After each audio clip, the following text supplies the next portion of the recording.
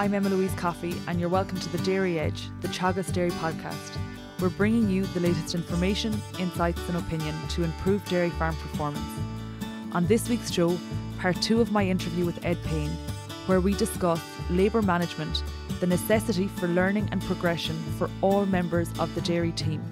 But first, I asked him about the introduction of a second dairy unit and once a day milking. So again, if you were to roll back to when we decided, I, um, I suppose one of the biggest risks I would have seen then to our business would have been labour, would have been the availability of good um, full-time staff um, to just come and get the job done. So that was where we leaned more towards once a day, that we will be able to integrate it more into the system and not leave ourselves at as high a risk to to labour changes or whatever it was going forward. So that was probably one of the main ones. Um, not to add a huge amount more stress to the system. Okay, so we've spoken about the fact we run this farm at four cows a hectare.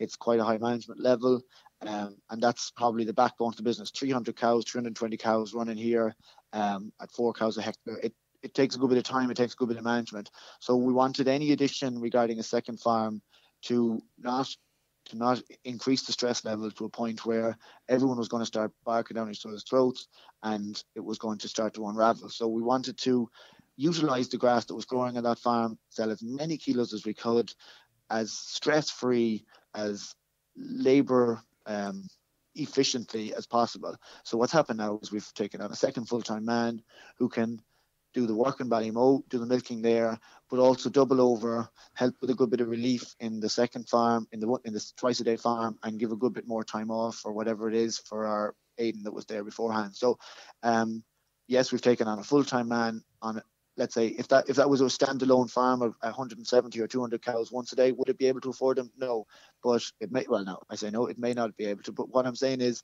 we've taken them on into the whole unit and it's it's making it's working. Whereas if we were to try and push twice a day now out on that farm the stress levels would increase. We'd need more relief for the weekends. We need more holiday cover. So it's just um, it's about drawing the line in the sand to say look at some point it's not all about money it's not all about the bottom line we need everyone to have a good, you know, a good enjoyable place to work here, and everyone to be able to get on, and the end goal to be to be always achievable. And the end goal is not, you know, not to stop at this unit, is to go on and go on. But if we were to if we were to push this unit, you know, that stress may make scamper further plans. So we're milking in two herds now since the beginning of this year. We're milking 300 cows twice a day, and we're milking 170 cows once a day. Um, that that once a day herd is the new herd that was established on a it's on an owners block as well. Um, what the farm I was born and reared on actually, and what we call the home farm. Uh, so there's 170 milk cows getting milked once a day there. So there's 170 there and 300 here. And talk through the decision to convert the home farm to dairy. So I suppose when we started dairying on the first farm, we still had a lot of sucklers and a lot of other stock around us, sheep and whatever else, and um, we had quite a good stock, an overall stocking rate. But what slowly started to happen over a three or four year period was we were cramming more and more mature cows, milking cows, obviously where the milking parlour was, and our support blocks and that owned farm was getting uh, less and less utilised. And there was um, one time, one year about this time of the year, where the farm at home there was just growing grass over the hedges, looked terrible, and which would not have been the case for that farm before. And it would have, you know, in years gone by, it would have been the more productive farm and it drove myself and my father mad to see this farm getting underutilized. So that was sort of the start of where we started to chat. Look, maybe we could start to sell some milk off this farm at some stage. Now that conversation twisted and turned through lots of different variations.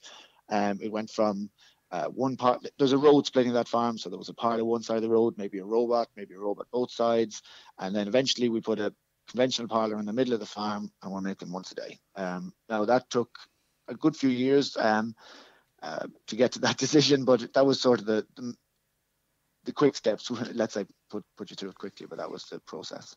So you're talking 470 cows are being mm. milked currently. What is the labour requirement across the two farms to you know ach- achieve this every day? Yep. So I suppose the day-to-day people that are that are working outside, I suppose myself, my father is still full-time, very involved. We have one full-time um, man in Tulsk on the Tri-State unit, Aidan, and we've just employed a second full-time person, Richard. Uh, he's based mainly in the Once a Day farm up in Ballymoe. Um, so there's four, there's four of us now. There's an extended team. Obviously, I'm married to Jennifer and my mother uh, involved in the background, and, and you know Um, they do all those all those unforeseen tasks that you you know you don't think about um, working away in the background. But the day to day running is four full time people. And talk through, you know, you mentioned you're working on the farm. Uh, what does your day look like? Yeah, uh, so yeah, it's a good question, Eloise. Yeah, um, so again, that my role um, has maybe altered a little bit over the last three or four years, especially now since we've taken on the second farm into what some might categorize as a more management role or a more overseeing role.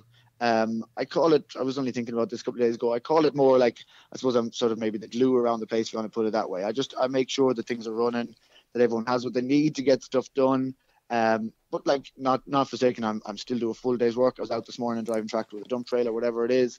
But um, it's just to make sure that the that the cogs are running smoothly. I suppose is what I try to keep an eye on. Um, so whether that's overseeing or management, I don't know what way you want to put it. Um, like, it's interesting. We have a seriously good team. Fortunately, I don't do much milking anymore myself. Um, but it's not that I'm not busy. Let's put it that way. Ed, you mentioned the team and you know your your family labour, employed labour, students and contractors. You know, there's there's a lot of people involved. How important is a good team on a on such a large scale farm?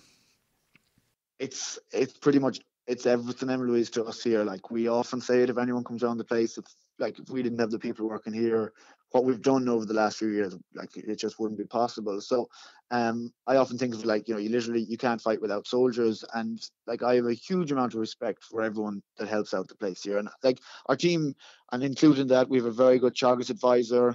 Um, you know, we have good connections with the co-ops, with who we trade with and who we buy from, and things like that. So, like, it's just a matter of of building those relationships, keeping them strong, and having respect for the people that you work with, and and that. So like, and I I consider that quite an important phrase myself too. Just just um, I don't consider the people here, although obviously we pay their wages and they they technically work for us. I'd like to feel that they feel like they work with us, that it's very much a team basis. I don't ask anyone to do anything I'm not willing to do myself, etc., etc. You know, um, like we've built up a good strong team, and it allows us to it, it gives us a foundation to continue to build upon. There's no like there's no doubt that I couldn't obviously milk the two the two herds, the three milkings we have every day, and and get to keep going. Like you know, so it's it's it's on the back of their strength that we you know, and we need to show our respect to them. Yeah, and you mentioned Aidan and Richard are with you full time. Yeah. But you yeah. also also mentioned the, the other labour on the farm would, would add up to approximately ten people. That that yeah, sounds so excessive. so can you explain where these people are coming into the system? Yeah, so including ourselves, uh, this spring uh, we had 11 people on the roster uh, for maybe a two or three month period. So that's myself, my father, my wife, um, Aidan, Richard. Then we had uh, a relief milker for the weekends. We had a full time night watch person, um, a calf rearer. Um, let me think. Uh, I'm nearly through them all. So, you know, just things like probably, oh yeah, we had a German student that was staying that was helping Aidan here on the Tri-City unit. So, like, like we, I was building up in Ballymoe still and stuff. So, we had a German student.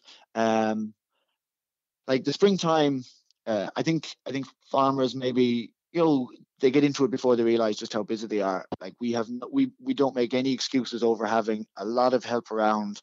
I say I, I turn down no one pretty much that wants to come and work here any time of the year. I'll give them a bit of work here and there, even on quiet times, knowing that hopefully they'll be there to answer a phone call come March if I'm a bit stuck. Like we we do like to have a lot of help at hand during the busy periods because um, there's absolutely no point in everybody getting burnt out. I've done that for a couple of years.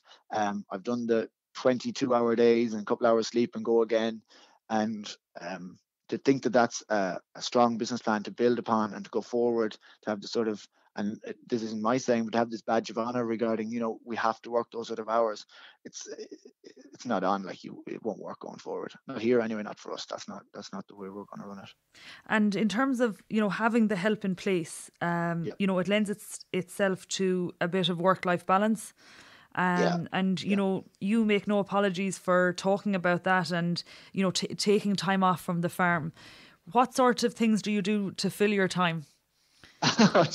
um, yeah, so I suppose the last couple of years I've been I've been tied up with. I was fortunate enough for that to be awarded an Nuffield scholarship back in 2017. So that took up a lot of traveling time last year and a lot of time this year with one thing and another. So that was you know that was a big commitment outside of farming, and it's thanks again to everyone that was on the farm that allowed me to to you know to be able to do that.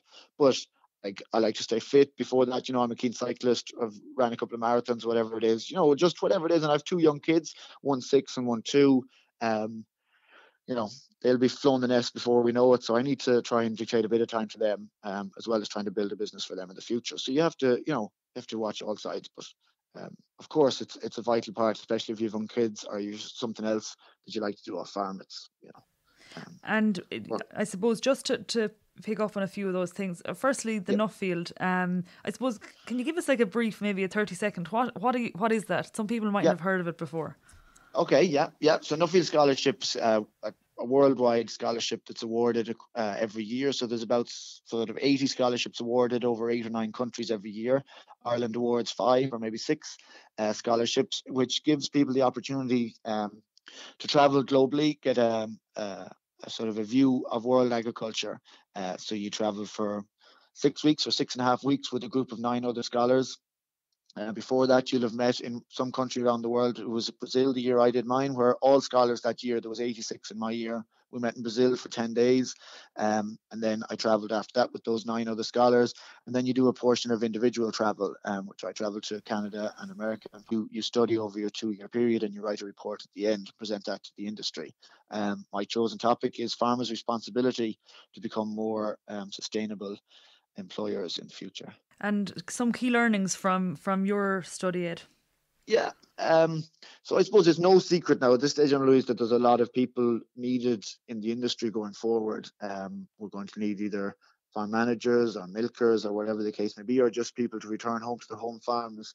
And um, I think farmers need to sort of wake up to the situation that at the moment, as a workplace, on average, it's it's not somewhere that's going to um, be more attractive than other industries that are out there. People are getting very good educations now. They have lots of options to go and work elsewhere, and um, farming needs to sort of come to the table a little bit more about becoming a better workplace, about creating a creating a job that people will say, yeah, that's actually something I'd like to do for for a period of time as a career, not just as a, a summer job or a springtime job. That they can that we can build build careers around people or build careers for people so that we can open doors if that makes sense so it's you know like as an industry ourselves, I just that's that's sort of where I'm trying to look into. Um, some of the key findings, I suppose, is just that people need to know. Um, we'll run through it quickly, but they need to know a lot more about themselves, their management skills, their management type. They want to be aware of what sort of culture they're creating on the farm, so that they can get someone to fit into that better. Um, and then just about you know the legal side of things, how you manage contracts, whatever else, things like that. Um, but it's just a lot of those soft skills. A lot of it's obviously people management, and that's a new area for a lot of people in Ireland that might have been um, up until this working on their home farm or whatever else, and now all of a sudden they need to employ a person, and it's a totally different dynamic on the farm when you're going from what used to be your system to now trying to get used to how that person milks cows or how that person does simple things like drives the tractor or does fencing. You need to, you know, um, so it's just you know it's just looking at that area of how how we're going to create a, a better workplace in the industry with the Nuffield, there was an awful lot of travel. You know, 10 days in Brazil, you had six and a half weeks traveling across the world and your own personal. Yeah. Like, it's excellent to see that, you know, setting up the team around you that you're essentially not needed in the system for long periods of time. Yeah, um, it's a bit scary, really, isn't it? When you go away for six weeks, you come back and the place is even better than when you left it. But it's great. It's great, obviously, and that was a good learning curve. I, I heard you speaking at the education conference with Teagasc earlier in the summer, and you know you you talked about kind of continuously developing, and you know you yourself as a farmer, but also the people working around you. Why do you think that's important? Like for myself, I suppose Nuffield was probably the biggest thing personally development I've done over the last few years. But I always love to see employees as well uh, come to me and say whatever it is, be it a hoof train course. Richard now he mentioned the other day he wants to do the AI course, and and we'll get that done obviously. And that's you know it's great to see them wanting to come and wanting to progress because that only strengthens the business. Um, so like it's I suppose it's it's a good sign for me if I can see the employees coming or the lads coming to talk to me and say, look, I you know I want to learn the skill. It's a weakness that I have, and you know we're looking to strengthen that. Um, obviously myself, you know, business courses or whatever it is that I need to do. Like while I was traveling with Nuffield, I was over in America, met a farmer there, and I suppose key taken from him was he said, you know, very easy to know what you know, but you, you need to know what you don't know as well, and, and to try and strengthen those areas. And that that's what it's about. People having the awareness to say, yeah, I'm I'm weak in this area. I need to either get a contractor in to do X, Y, and Z, or I need to, you know, find can I get a course or can I go and read up or do something on that and um, and it may it may be able to do it within the team. Like you know, there's no there's no reason like Richard now we're going to train him up that he can do the grassland management or whatever on that once a day farm, and that that can all be done in house, so to speak. Um, and it, but but allowing that to happen, like so you know, many people could just think, oh no, he just doesn't do that job, and we'll do it for him, or we'll just throw him at it and let him you know let him try and find his own way, which isn't great either. So like just to help these people along, try and get a bit of a ladder for them. And in terms of, I'd say, the continuous learning, you know, mm. you, you were mentioning, say, you know, becoming good at business. You know, is is there anything else you're targeting um, as areas that you need to improve on as a farm owner? At the moment, let's say, if I was to, if you were to ask me my weakness going forward, it would be that area of, of, of business skills. The farm is, is growing every year, more money turning over X, Y, and Z. So we need to we need to focus more on that area to try and um, exaggerate that area, like outside performance. And I, I, hand that over to lads now. Like Aiden's Aiden's day to day running the farm here, and it's super performance. We've chatted about that earlier on. I'd be very happy with where that's going. So it's and and again maybe if I was to talk about some of my Nuffield topics, it's that learning about how I going forward are going to manage people, how I'm going to become more of a team like team leader to to use the phrase whatever it is. Like I need to be aware of how I integrate into the team, not to you know to make that run smoothly and to to keep the whole thing oiled as we go along. So I suppose yeah. So I suppose to answer your question, um, business management is probably a, a weakness or an area I'm looking to strengthen, as well as people management. I guess they're the two key key areas. You know, farmers can be excellent with cows and excellent with grass. Business is kind of where they're getting a handle on things. You know, doing the profit monitor, assessing where you are financially as a business, and now we're taking the next step. You know, you mentioned earlier the soft skills. You know, the people skills, and and and improving how we, you know interact and manage people. I suppose finally to finish off, you know, the majority of herds in the country have increased herd numbers and they're in the situation where they are looking at employing new labour or mm-hmm. they've brought some labour onto the farm. You know, from yeah. your experience, maybe your top three uh, tips for farmers um, in terms of how to manage labour. Yeah, so uh, yeah, so I see this. We've seen this a lot. Okay, so people have like, and we were a little bit guilty ourselves. Put the cows in place, and then everything else will be fine. But like, you know, people is everything. Um, people are starting to learn that. So yeah, top three points. Communication is key. Um, be open. Um, talk about talk about everything get staff involved get people involved give them a little bit of involvement. Um, and that doesn't mean you have to open every financial account if that's not what makes you comfortable but just just communicate. Communication is key. Um, be very aware of the type of manager you are. Okay, so there's you know your there's your lead by example type of manager, or there's your sort of more stand back, give them the tools and let them away and do it type of manager. But you need to be able to recruit someone that suits your management style. Okay, because there'll be a very soon a clash if your management style is a little bit different to what they what, what type of manager or leader that person is looking for. So you need to be able to know what type of person you're looking to recruit. And I suppose maybe to wind back a little bit before you start recruiting at all, you need to have a really, really good idea of the actual job you're offering. Okay, so you need to know, you need to be able to write down a full job description and be able to nail that down on a piece of paper. Because when the person comes to the interview, you need to be mm-hmm. able to say to them, your role will be X, Y, and Z. And it doesn't have to be exactly what that role turns out to be, but you need to be able to give them the respect to be able to let them know what what a vague idea or a fairly close idea of what their job is going to be. And it will give you a better impression of the person that you're looking for instead of just saying, I need someone to start working tomorrow and it's milking cows. But it turns out to be much more than milking cows. It's rearing calves. Are you able to drive tractor spread fertilizer? The weekends, the weekends on, the weekends off, what time is on and off, and things like that. You know, what what actually job you're offering. That's great. Thank you, Ed. No problem. Thank you very much. That's it for this week's episode of the Dairy Edge podcast. And my thanks to Ed Payne for joining me on this week's show. Don't forget to subscribe on Apple and Google Podcasts. And for more information, go to the Teagasc website at teagasc.ie. I'm Emma Louise Coffey, and join me next time for your Dairy Edge.